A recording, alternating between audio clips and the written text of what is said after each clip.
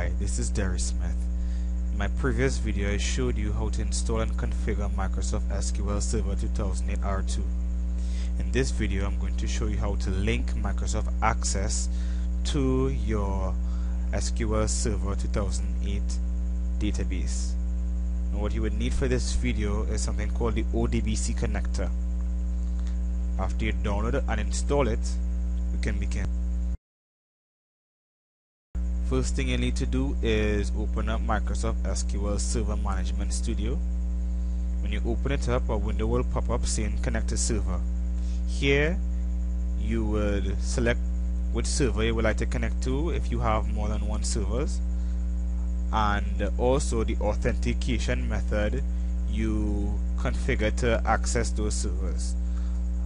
I choose Windows Authentication so I'm just going to click connect and uh, under Object Explorer a few items pop up. We're going to go click the plus sign to drop down the databases. And in databases you'll see a folder called system databases where there are several database already made. Alright and there's one here that I made.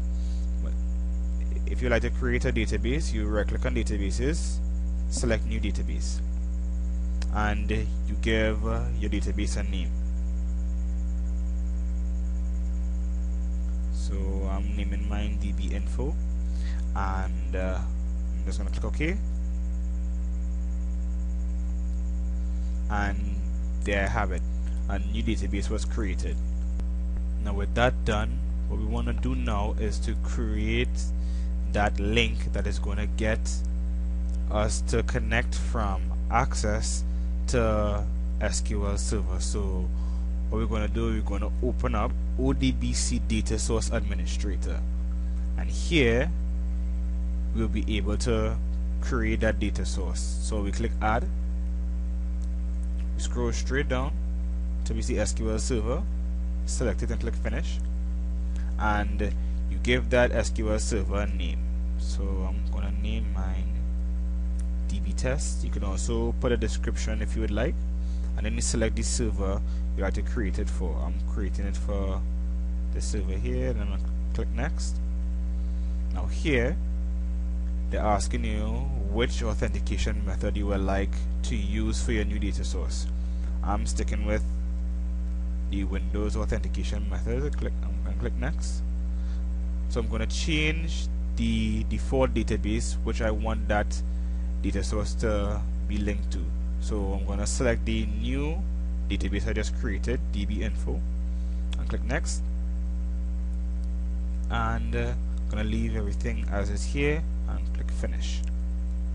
And uh, just to make sure everything is up and running, when I just click test data source, once you see it's completed successfully, you click OK, click OK again, and there you have it, a new data source. Okay, so we click OK, and then we head on to the linking from access to SQL Server. Now you're going to open up Microsoft Access and uh, we're going to create a new blank database. Okay, so select blank database. We're going to click this folder beside here and we're going to change the the type you're going to save it as. So from this drop down list, you're going to select Microsoft Access Projects alright? And you're going to name the database to whatever you want. Um, just gonna give it a this name. And we click OK. And we create the new database. Now our window is gonna pop up and it's gonna ask you if you want to connect to an existing SQL Server database. Since we're trying to link to the database we're gonna select yes. Okay?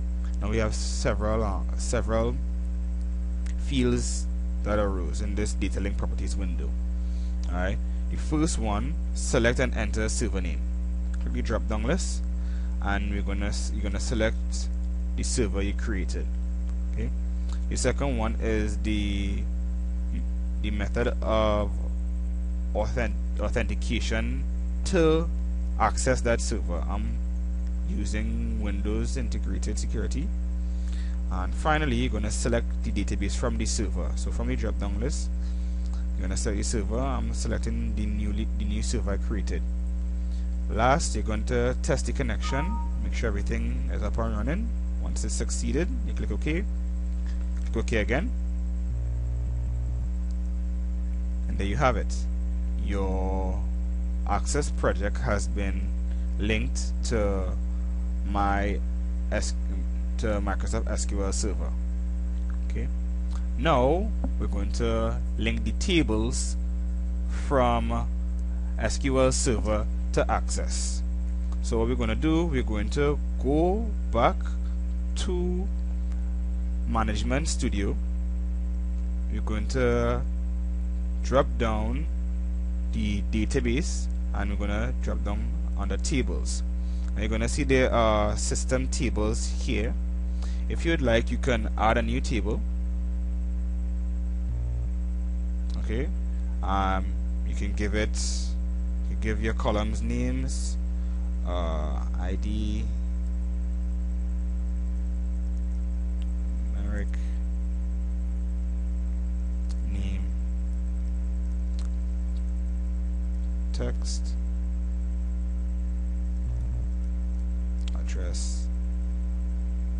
text alright I'm gonna save this table. Give it give your table a name. And select OK.